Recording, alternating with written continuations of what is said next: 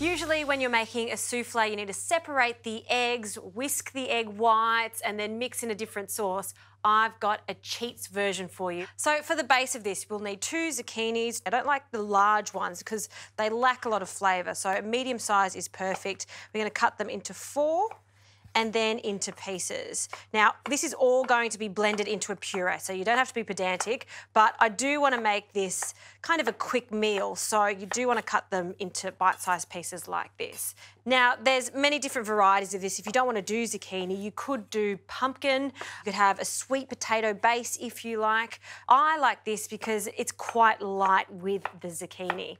So now that that's ready, let's get cooking. So a good glug of extra virgin olive oil.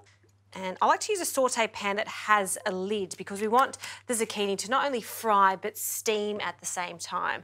So in with our zucchini.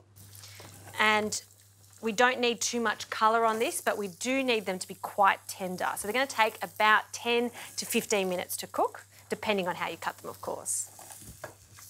I'll just coat the zucchini in the oil, always seasoned, so a pinch of salt and some pepper. And one clove of garlic. I don't even bother slicing it, just bruise it and in it goes, because again, it's going to be blended. Now, zucchini and thyme, best mates, and I'm just going to pick the leaves off.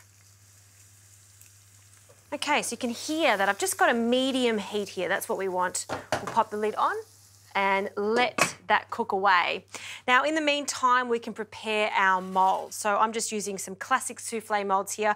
I've just sprayed it with a little oil. And for extra assurance that they come out, I like to use some fine breadcrumbs just like this. So we'll just pour some in, about a teaspoon or so.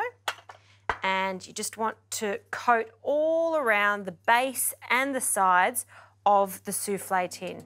And then all the excess will just shake out and then we'll continue the process. Of course, you can serve these in the mould if you don't want to demold them, but I think it looks fantastic for presentation. So this is why I make sure it's completely foolproof.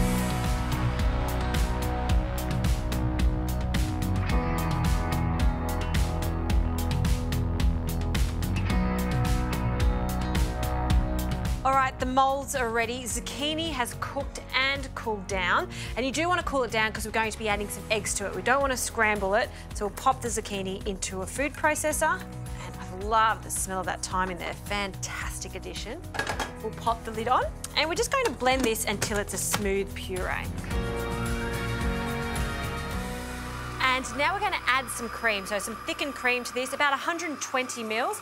I just want to show you how fine this mixture should be. Look at that, see it's a puree?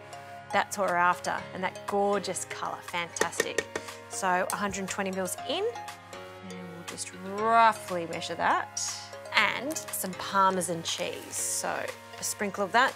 If you like, you could change this to cheddar cheese. Even blue cheese works a treat too. And a pinch of nutmeg. And again, give that a good blend. Now, while that's blending, the eggs. You'll need five eggs for this recipe. I like to just crack the eggs into the bowl first, and one by one, we're going to add them to our food processor.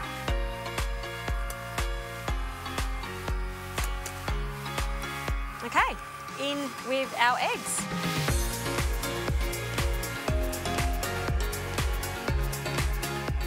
And this is where I like to just speed it up just to really combine everything quite well. All right, everything is combined, so I'm going to place this mixture into our prepared moulds. They then go into the oven, a low temperature oven, so 160 degrees for a nice even cook for about half an hour.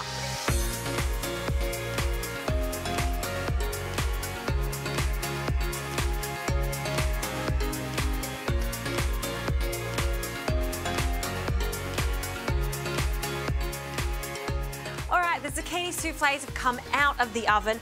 I've allowed them to cool slightly, and of course, with a souffle, they will deflate, but they're still gonna be lovely and light. On this plate, I have some gorgeous watercress, got a lovely pepperiness to it, and some blue cheese, a squeeze of lemon, so we're just dressing this. This is a really nice entree if you want to impress your friends. A little bit of salt always, some pepper, blue cheese and pepper, fantastic with each other. And to bring the whole thing together, some olive oil. Now, for the main attraction, which is the souffles, I'll take them out of the tray and just with a knife, just loosen it